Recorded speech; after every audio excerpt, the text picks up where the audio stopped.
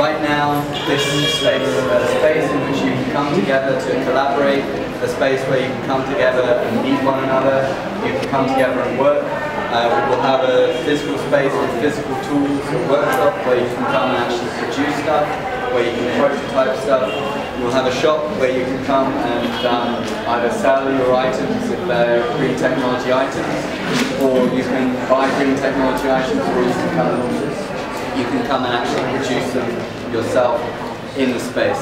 So this is everything from uh, clean water filtration to uh, hydrogen energy generation. Whatever you want to share here, you can come and share it.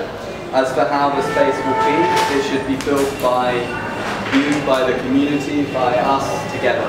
So this is also why we invite you here. To give you a chance to see the space, to consider what you want to do in the space, uh, how you